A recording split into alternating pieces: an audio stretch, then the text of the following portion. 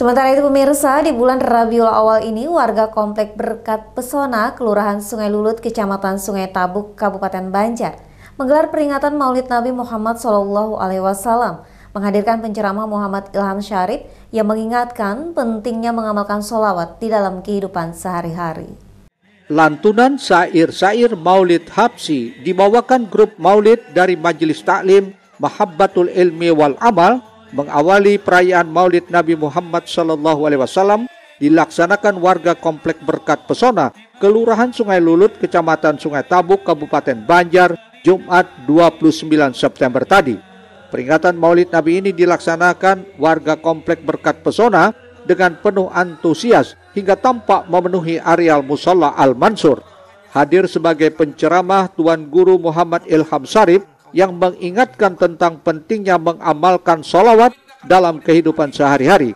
Karenanya terdapat sejumlah keutamaan dalam membaca solawat yang bisa diraih umat muslim tidak hanya sebagai bentuk pujian kepada Nabi, tapi juga menjadi doa yang bernilai pahala. Salawat bu? Berapa kali sehari?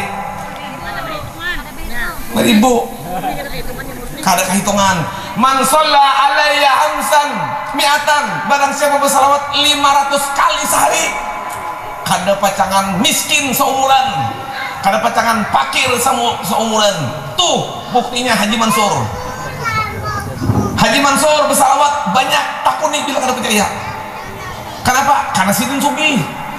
Dunia nang ini salawat kuncinya, akhirat kena salawat kuncinya. Nang berdosa minta ampun lawan Tuhan kada tentu diampuni. Tapi nang berdosa banyak salawat pasti diampuni. Oke? Okay?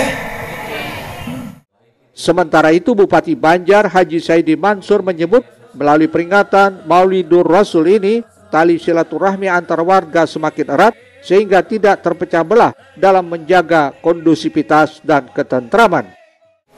Mudah-mudahan melalui di bulan Maulid ini kita seberataan ini terus menjaga tali silaturahmi. Jangan mudah diadu domba dan mudah-mudahan kegotong royongan, kebersamaan kuat nah, berkat kita melaksanakan Maulid baginda Nabi besar Muhammad SAW.